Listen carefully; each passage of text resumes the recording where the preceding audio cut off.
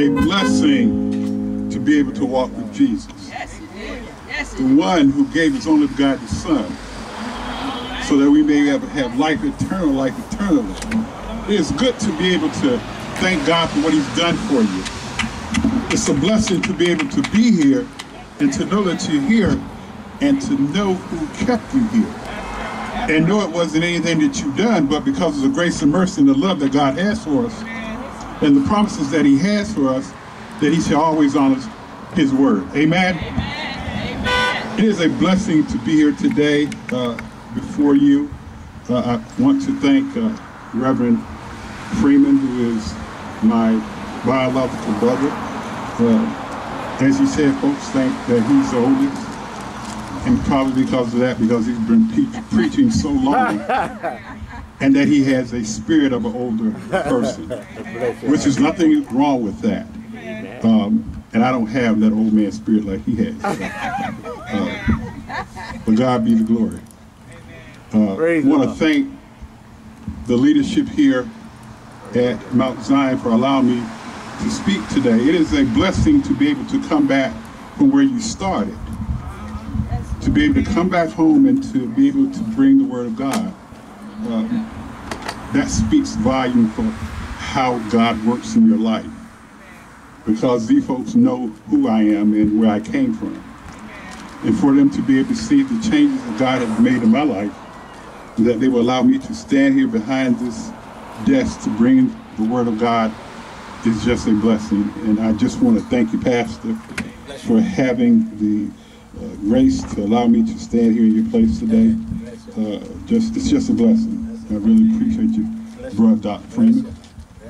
To First Lady, uh, Selena Freeman, my sister, love you, dear. Bless you. And to my wife, uh, who is my ride and die.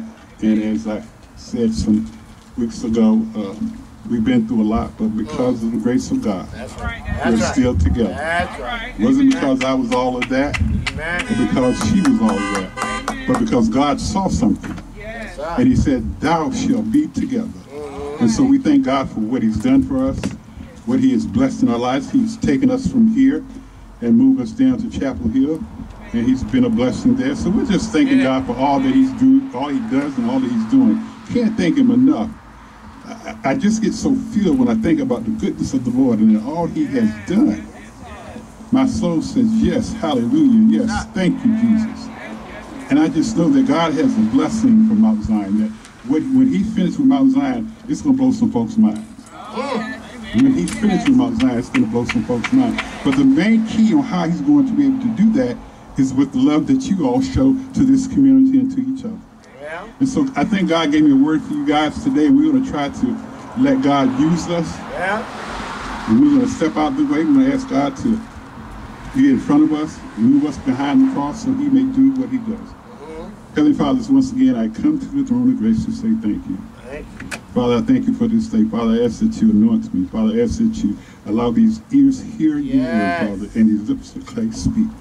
Father, we ask that you hide me behind the cross so they will see all of you and none of me. We ask these things in your sweet Son, Jesus' name. Amen.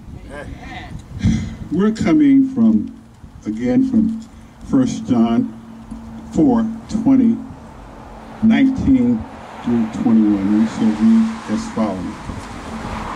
We love him because he first loved us. If a man said, I love God and hate of his brother, he is a liar. For he that loveth not his brother whom he's seen, how can he love God whom he have not seen? And this commandment was we from him, that he loveth God, love his brother also. As Christians, the only reason we love at all is because he first loved us. The Ten Commandments that God gave to Moses required that a man love his God and neighbor. But the law could not provide or produce this love. How could God obtain this love with the righteousness that was required? Well, He solved this problem by sending his only begotten Son to die for us. Such a wonderful love draws our heart out in him, and we said, You bled and died for us, and we will now live for you. all right. If I could topic, give you a topic today, it would be what love got to do with this. Tina Turner sung a song some years ago, and the second stanza of that song said, Oh, oh, what love got to do with this? What love but a second-hand emotion? What the love got to do with it? Who needs a heart when a heart can be broken? There have been times in your life that someone has told you that they love you, and you have done everything that you could for that person to show them that you love them. But it seems the more and the more that you do, the worse that they act. And the more you try to love them, the more they go this way. But you know that God put something in you to share with that person. But that person doesn't understand that. And so what we do, we continue to love them. We continue to love them. We try to show them the Spirit of God. But they don't want to hear what we have to say. So then we get upset with the person and get an attitude. We want to turn our back on them, but we forget that God loved us first. And if it had not been for him, where would you be? Where would you be if God didn't show his love to you? Those times when you didn't have what you needed, but God gave it to you. And he gave it to you because he loved you, because he promised you that he would be your all in all. So church, I'm here to tell you, when it don't look good, it's for the good. Because God has something for you. But what he has to do, sometimes he got to take you through some things. He got to shake and wake you because he needs you to understand that he's still there. He's still in the blessing business. But we kind of get in our own self. We get into our own feeling, and we want to turn our back on God. And once we turn our back on God, he still loves us. Even in the midst, when we turn our back on God, God said, I still got you. I'm going to let you feel the way that you think you are. I'm going to let you have your pity party for right now. But what I need for you to do is don't forget what I've done for you. Right. See, God ain't got to remind you because what he does, he, he wakes you up every morning. Yeah. He allows you to go to that old piece of job that you go to. He allows you to have that house you have. He allows you to have that car that you have. But you still got an attitude with God because he hasn't given you what you wanted at that time. But the love of God still keeps you where he needs you to be at. And for that, we should be thankful. Mm -hmm. Because, see, God has given us everything that he promised us. God said, I would give you what you need. He never told you that he's going to give you what you want. But see, the wants are the extra piece of his love. When he gives you something extra, that's the extra part of his love that he has for you. How many of us have, have enough love in our body that we will give our only begotten son to save somebody? That ain't nothing but love. God loved us so much that he said, you know what? I'm not going to allow you to leave this earth without having the opportunity of being saved. And for that, I'm giving my son so that he can die and yeah. take away all the sins. Now, it's up to you to live right. And what I love about God, he ain't going to force nothing on you. Now, he will let you know that it ain't right, but he's not going to force it upon you. But the love that he shared for you, if you truly love God, you're going to see that I ain't doing right. Well, Something is not right with me. Right. What is it, Lord? What, what, what is it? And if you pray long enough, he's going to tell you what it is. He's going to show you what it is.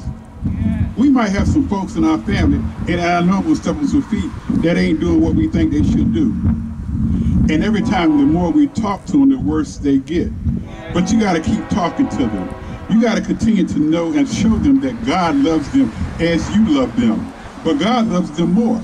Because see what happened, God would allow you again to go through some things so he can show you what you really need, where you need, need Satan, get out the way I'm trying to read from this paper. God's going to show you where you're supposed to be at. God's will show you who you're supposed to be, who you're supposed to love. And see, we get loving folks and they, they ain't supposed to be who we're supposed to be with. But we, we, we want to love them because that's what we want. It ain't what God got for us. So after they get through busting us on our head, they we say, Lord, why I got this? Because you chose that, not me. We go through this because we choose what we go through. We don't, how often I hear people say, I give honor to God who's first in my life. And I have an issue with that. Because for God to be first in your life, that means everything that you do, you turn it to him first.